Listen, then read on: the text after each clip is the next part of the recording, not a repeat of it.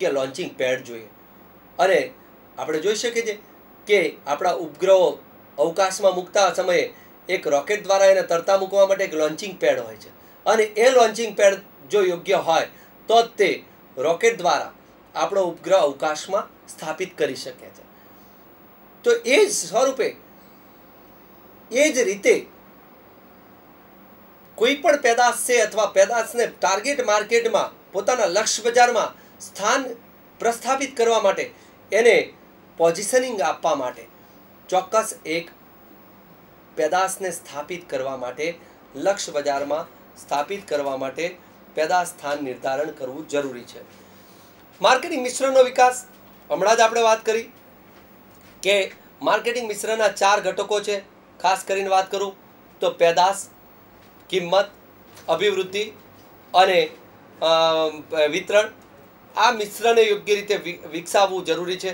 ખાસ કરીને પેદાશમાં હંમેશા વિકાસ કરવો, પેદાશમાં એડિશનલ ફીચર્સ ઉમેરવા. દાખલા તરીકે, જૂનું ટેલિવિઝન હતું. એ ટેલિવિઝનને કંપનીએ એલસીડી બનાવ્યું. એલસીડીમાંથી એલઈડી બનાવ્યું. એલઈડીમાં ટેલિવિઝન સાથે જ તે કનેક્શન આપીને, એમ કહેવામાં આવ્યું કે તમે સીધા ટેલિવિઝનમાં તે કેબલ નાખી દો. તમે ડીશમાંથી અથવા સેટેલાઇટ દ્વારા સીધા જ તે તમે ચેનલ જોઈ શકશો. પછી ટેલિવિઝન સાથે જ તે નીચે ડીવીડી પ્લેયર આવી ગયું. ટેલિવિઝનમાં અને વર્તમાન સમયમાં આપણે જોઈ શકીએ છીએ કે ટેલિવિઝનમાં તે એસડી કાર્ડ અને પેનડ્રાઈવના સ્લોટ આપણી પાસે આવી ગયા. આપણે જોઈ શકીએ છીએ કે પેદાશ વિકાસમાં એ જ ટેલિવિઝનને આપણે થ્રીડી બનાવી નાખા આ માત્ર ટેલિવિઝન પેદાશ વિશે વાત કરી રહ્યા છે. એ જ રીતે આપણે જોઈ શકીએ છીએ કે તમામ પેદાશ, પેદાશનો વિકાસ કરવો એ માર્કેટિંગ મિશ્રણનું સૌથી અગત્યનું બાબત છે. કારણ કે એકને એક સ્વરૂપની પેદાશનો ઉપયોગ કરીને તમ, ગ્રાહક છે, એ પેદાશથી દૂર થાય છે. આપણે જોઈ શકીએ છીએ કે વર્ષો સુધી આપણને એકને એક પ્રકારની પેદાશ પૂરી પાડનાર કંપનીઓની ગાડીઓ ભારતમાંથી નાશ પામતી પામતી, પામી ગયેલી છે. કારણ કે એ લોકોએ આપણને પેદાશના વિકાસમાં અથવા પેદાશના વિકાસમાં કોઈ ફાળો જ ના આપ્યો. પછીની વાત છે કિંમત, તો કિંમત સંદર્ભે માર્કેટિંગ મિશ્રમાં આપણે વાત કરી. કે આપણી પાસે નવ વિકલ્પ છે? ઊંચી કિંમત, ઊંચી ગુણવત્તા, ઊંચી કિંમત, ઊંચી ગુણવત્તા, મધ્યમ કિંમત, ઊંચી ગુણવત્તા, નીચી કિંમત. એકમ કયા હેતુથી અસ્તિત્વમાં છે? અથવા એકમના ઉદ્દેશને આધારે આ કિંમત નક્કી થાય છે? મધ્યમ ગુણવત્તા, ઊંચી કિંમત, મધ્યમ ગુણવત્તા, નીચી, મધ્યમ કિંમત અને મધ્યમ ગુણવત્તા, નીચી કિંમત. નીચી ગુણવત્તા, ઊંચી કિંમત, નીચી ગુણવત્તા, મધ્યમ કિંમત અને નીચી ગુણવત્તા, નીચી કિંમત. આપણી પાસે આવા નવ વિકલ્પો કિંમત સંદર્ભે પણ છે. અને એ જ રીતે પેદાશ અભિવૃદ્ધિ સંદર્ભે આપણી પાસે ઘણી બાબતો છે કે પેદાશ અભિવૃદ્ધિમાં આપણે શું કરવું? ગુણવત્તા વધારવી, પેદાશની ગુણવત્તામાં એડિશનલ ફાયદો આપવો, કે ગ્રાહકને વિશેષ સેવાઓ પૂરી પાડવી. આ પણ પેદાશ અભિવૃદ્ધિનો અભિવૃદ્ધિનો ભાગ છે. કે ગ્રાહકને દાખલા તરીકે આપણે જોઈ શકીએ છીએ કે ટાટા ટાટા કંપનીએ જ્યારે નેનો બજારમાં અસ્તિત્વમાં લાવે ત્યારે એણે પેદાશ અભિવૃદ્ધિના ભાગ સ્વરૂપે એ એક એવું વસ્તુ ઓફર ગ્રાહકોને આપવામાં આવી કે અડતાળીસ મહિના સુધી વોરંટી એટલે કે પેદાશ છે, આ પેદાશ અડતાળીસ મહિના એટલે કે ચાર વર્ષ સુધી વોરંટી પીરિયડમાં છે. એટલે કે એનો કોઈ પણ મેન્યુફેક્ચરિંગ પાર્ટ્સ છે, એ પાર્ટ્સ બગડશે, તો company without taking single penny they can change એ આપણને પાર્ટ બદલી આપશે.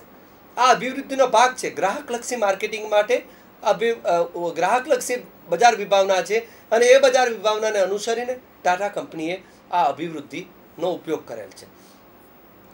આ સાથે ઘણી બધી બાબતો છે કે તમે એક પેદાશ ખરીદો, એની સાથે અભિવૃદ્ધિમાં બીજી પેદાશ તમને કોઈ ફ્રીમાં મળતી હોય કે તમે કોઈ એક્સવાયઝેડ પ્રકારની ગાડી ખરીદો, એની જોડે તમને એલઈડી ટીવી, ટેલિવિઝન ફ્રી મળે છે. આવું પણ હોઈ શકે છે. એટલે કહેવાની વસ્તુ છે કે અભિવૃદ્ધિ માર્કેટિંગ મિશ્ર સંદર્ભે જે નિર્ણય લેવાના છે, એમાં અભિવૃદ્ધિ સંદર્ભના નિર્ણયો આવે છે. અને છેલ્લો વિતરણ વ્યવસ્થા સંદર્ભના નિર્ણય, વિતરણ કડીઓ કેટલી અપનાવવી, વિતરણ કઈ રીતે કરવું અને આ સંદર્ભે ઘણી બધી બાબતો અંગેના નિર્ણયો આપણી પાસે વ્યૂહાત્મક માર્કેટિંગની પ્રક્રિયાના ભાગ સ્વરૂપે આપણી પાસે આવે છે અને આપણો ચોથો મુદ્દો છે. જોઈ શકીએ છીએ આપણે આગળ. કે માર્કેટિંગના ઉદ્દેશોની સ્પર્ધા લક્ષ્ય બજારનું વિશ્લેષણ અને મૂલ્યાંકન. ખાસ કરીને કહું તો બજાર તકોનું વિશ્લેષણ અને મૂલ્યાંકન કરતા એમાંથી આપણને એક તક દેખાય છે અને એ તકમાંથી આપણે આપણું ટાર્ગેટ માર્કેટ નક્કી કરીએ છીએ. એ ટાર્ગેટ માર્કેટમાં આપણે પેદાશનું સ્થાન નિર્ધારણ કરીએ છીએ અને એ સ્થાન નિર્ધારણ કર્યા પછી માર્કેટિંગ મિશ્રનો વિકાસ કરીએ છીએ. અને માર્કેટિંગ મિશ્રનો વિકાસ કર્યા પછી માર્કેટિંગ પ્રવૃત્તિઓનું સંચાલન કરીએ છીએ. માર્કેટિંગની જે કંઈ પ્રવૃત્તિઓ છે, આપણે આગળ ઉપર આવે જ છે. હમણાં આપણે એની ચર્ચા કરીશું વિસ્તૃતથી પણ માર્કેટિંગની પ્રવૃત્તિઓ એટલે પેદાશ નક્કી કરવી. પેદાશની કિંમત નક્કી કરવી, પેદાશનું મૂળ સ્વરૂપ નક્કી કરવું, પેદાશની કિંમત નક્કી કરવી, એની વિતરણ વ્યવસ્થા કરવી, એનું પેકેજિંગ કરવું, એની બ્રાન્ડિંગ કરવું, એની કિંમત, આ બધી બાબતો જે અંદર આવે છે, એ બધી પ્રવૃત્તિઓનું સંચાલન અને માર્કેટિંગ, અંકુશની પ્રવૃત્તિ, આ બધું જ વસ્તુઓ કરીને માર્કેટિંગ, વ્યૂહાત્મક માર્કેટિંગની પ્રક્રિયા આપણે આ સામાન્ય રીતે આ છ ભાગમાં આપણે જોઈ શકીએ છીએ. ખાસ કરીને ત્યાર પછીના મુદ્દા ઉપર આપણે જઈએ. માર્કેટિંગ મિશ્ર વ્યૂહરચનાને અસર કરતા પડી બળો ખાસ કરીને કહું છું, માર્કેટિંગ મિશ્ર અંગેની વ્યૂહરચના છે. આગલા જ આપણે પહેલામાં વાત કરી કે માર્કેટિંગ મિશ્ર અંગેની વ્યૂહરચના માર્કેટિંગ મિશ્રનો વિકાસ કરવો અને એમાં આપણે માર્કેટિંગ મિશ્ર વ્યૂહરચનાને અસર કરતા પરિબળો, ખાસ કરીને જ્યારે માર્કેટિંગ મિશ્ર અંગેની વ્યૂહરચના નક્કી કરવામાં આવે છે, ત્યારે પેદાશનો પ્રકાર, પેદાશ કયા પ્રકારની છે, એને અનુસંધાને માર્કેટિંગ મિશ્રનો વ્યૂહરચના નક્કી થાય છે. આપણે જોઈ શકીએ છીએ કે ભૂતકાળના સમયમાં જે તે વિસ્તારમાં વિસ્તારમાં ઉત્પાદિત થતા ફળો, કારણ કે ખાદ્ય પ્રકારની અને નાશવંત પેદાશો છે, અથવા જેનો યોગ્ય સમયમાં નિકાલ ન કરવામાં આવે તો એનો બગાડ થઈ જાય છે. જેમ કે દૂધ, ફળ, શાકભાજી. આ બધી પેદાશો પેદાશના પ્રકારના અનુસંધાને જે નાશ પામતી પેદાશો હતી અથવા બગડી જતી પેદાશો હતી, જેના પરિણામે માર્કેટિંગની વ્યૂહરચનાઓ એક ચોક્કસ પ્રકારની હતી. અને અમુક સિઝનમાં અમુક વસ્તુઓ આપણી સામે નાશ પામતી જતી અને જેના પરિણામે એની વ્યૂહરચનાઓ એવા પ્રકારની હતી. વર્તમાન સમયમાં આપણે જોઈ શકીએ છીએ કે વિતરણ વ્યવસ્થા અને એના પરિણામે અથવા એની પેકેજિંગ એના સ્ટોરેજ અને જેના પરિણામે આપણે આ પેદાશ પર પણ આપણે ઘણી બધી બાબતોનો વિચાર કરી શકીએ. પેદાશ જીવનચક્ર. માર્કેટિંગ મિશ્ર વ્યૂહરચના જ્યારે ઘડતા હોઈએ છીએ, ત્યારે પેદાશ જીવનચક્રના કયા તબક્કામાં છે? જો પેદાશ જીવનચક્રના પ્રથમ તબક્કામાં છે એટલે પ્રવેશના તબક્કામાં, તો ચોક્કસપણે આપણે કહી શકીએ છીએ કે પેદાશની પડતર ઊંચી આવતી હશે. પડતર ઊંચી આવતી હશે, જેના પરિણામે પેદાશની કિંમત પણ ઊંચી રહેશે. કિંમત ઊંચી રહેશે, પરંતુ એકમનો નફો નીચો હશે. પરંતુ જેવી પેદાશ પ્રવેશના તબક્કામાંથી વિકાસના તબક્કામાં પ્રવેશશે, એટલે વેચાણ વધારે થશે. વેચાણ વધવાના પરિણામે ઉત્પાદન પણ વધારવું પડશે. વધુ ઉત્પાદનના પરિણામે ઉત્પાદન પડતર નીચી જશે. ઉત્પાદન પડતર નીચી જવાના પરિણામે ઉત્પાદક છે એ કિંમત, પેદાશની કિંમતમાં ઘટાડો કરી શકે છે અથવા પોતાનો નફો ઊંચો લાવી શકે છે. પેદાશ પરિપક્વતાના તબક્કામાં પ્રવેશે છે. પરિપક્વતાના તબક્કામાં હરીફાઈ ઘટી ગયેલી હોય છે. કારણ કે હરીફો છે એ વિકાસના તબક્કામાં પ્રવેશેલા હોય છે અને યોગ્ય અથવા તંદુરસ્ત હરીફો છે એ જ તે પરિપક્વતાના તબક્કા સુધી પહોંચી શકે છે. વધારાના હરીફો છે એ એ સમયગાળા દરમિયાન પોતાનું અસ્તિત્વ ટકાવી શકતા નથી અને હરીફાઈમાંથી બહાર નીકળી જાય છે. અને જેના પરિણામે એ તબક્કામાં પેદાશ એક સ્થિર કિંમત હાંસિલ કરે છે. પેદાશ પોતાની ગુણવત્તા જાળવી રાખેલી હોય છે અથવા પોતાની પ્રતિષ્ઠા સિદ્ધ કરેલી હોય છે અને જેના પરિણામે પેદાશ અને પરિપક્વતાના તબક્કામાં ગ્રાહકો હવે પેદાશમાં સુધારા પણ અપેક્ષા અપેક્ષિત હોય છે અથવા સુધારાની પણ અપેક્ષા રાખતા હોય છે કે જેથી કરીને ગ્રાહકો ટકી રહે છે. અને ત્યાર પછીનો ચોથો તબક્કો આપણી પાસે આવે છે પેદાશ જીવનચક્રનો અને એ છે પડતીનો. આ તબક્કામાં પેદાશમાં નવી તકોનું મૂલ્યાંકન કરવામાં આવે છે, પેદાશમાં સુધારા વધારાની શક્યતા વિચારવામાં આવે છે અને જો આ સુધારા વધારા દરમિયાન, આ સુધારા વધારા કરતાં પેદાશ જો બજારમાં અસ્તિત્વ ધરાવી શકે એમ હોય અથવા બજારમાં સ્વીકારી શકાય એમ હોય, તો અને માત્ર તો જ તે એ પેદાશને બજારમાં ચાલુ રાખવામાં આવે છે. અન્યથા એ પેદાશને બજારમાંથી વિડ્રોલ કરી લેવામાં આવે છે અથવા ઉઠાવી લેવામાં આવે છે. અને આ રીતે પેદાશ જીવન અથવા માર્કેટિંગ વ્યૂહરચના ઘડતા સમયે અસર કરતા પરિબળમાં પેદાશ જીવનચક્રનો તબક્કો પણ એક અગત્યનું ઘટક છે. ત્યાર પછીનો ઘટક આપણે જોઈએ છે અને લક્ષ્યાંકિત બજારની વિશેષતાઓ. ખાસ કરીને કહું છું કે લક્ષ્યાંકિત બજાર કેવા પ્રકારનું છે? મારું ટાર્ગેટ માર્કેટ છે, એની વિશેષતા હોય છે. એ મધ્યમ વર્ગનું છે, ધનિક વર્ગનું છે કે ગરીબ વર્ગનું છે? અથવા જેને આપણે નિમ્ન વર્ગનું કહીએ છીએ. આર્થિક રીતે આ કયા પ્રકારનું છે? શિક્ષિત છે અર્ધ શિક્ષિત છે કે અશિક્ષિત છે? ગ્રામ્ય છે કે શહેરી છે? લક્ષ્યાંકિત બજાર છે, એ બજારની વિશેષતા છે, એ માર્કેટિંગ મિશ્ર વ્યૂહરચનાને અસર કરે છે. જો લક્ષ્યાંકિત બજાર છે, એ ગ્રામ્ય હશે, તો ગ્રામ્ય લોકો મોટા ભાગે વાત કરીએ તો કિંમત અને ટકાઉપણાને મહત્વ મહત્વતા આપતા હોય છે. જ્યારે શહેરી બજાર છે, એ શહેરી બજાર મોટા ભાગે આપણે જોઈ શકીએ છીએ કે કિંમત સાથે સાથે એના દેખાવને વધારે મહત્વ મહત્વ આપતા હોય છે. લક્ષ્ય બજાર છે, એ લક્ષ્ય બજાર છે એ લક્ષ્ય બજારની લાક્ષણિકતાઓ ખાસ અગત્યની છે. ખાસ કરીને વાત કરું તો જો ધનિક ગ્રાહક વર્ગ હશે, તો એ એન્ટિક વસ્તુને વધુ મહત્ત્વ આપતા હશે. અથવા જેને આપણે કહી શકીએ કે લિમિટેડ એડિશનને વધુ મહત્ત્વ આપતા હશે. દાખલા તરીકે, અમુક એક સામાજિક વર્ગ છે, જે એક પોતાની સ્થાન અને મોભા પ્રમાણે વર્તવા ટેવાયેલો હોય છે. અને એ આ વસ્તુ માત્ર અમારી પાસે જ છે. એને ગૌરવ અનુભવતા હોય છે. અને ઉત્પાદક ઘણી બધી કંપનીઓ છે, એ લિમિટેડ એડિશન એડિશન બહાર પાડતી હોય છે. ખાસ કરીને રિસવોચ પેન સ્પેક્સ આ બધી બાબતોમાં લિમિટેડ એડિશન વિશેષ આપણને જોવા મળે છે કે કંપનીએ અથવા ઉત્પાદકે અમુક સંખ્યામાં તે, એ પેદાશ બહાર પાડેલી હોય છે. અને પેદાશની બહુ જ ઊંચી કિંમત એ લોકો હાસિલ કરતા હોય છે. અથવા એ લોકો વસૂલતા હોય છે. અને ધનિક વર્ગ, મારું લક્ષ્યાંકિત બજાર છે એ ધનિક વર્ગનું હોય, તો ચોક્કસપણે મારે આ બાબત ઉપર ધ્યાન કેન્દ્રિત કરવું જોઈએ. અને લક્ષ્યાંકિત બજારને આધારે મારે મારી માર્કેટિંગ મિશ્રની વ્યૂહરચના ઘડવી જોઈએ.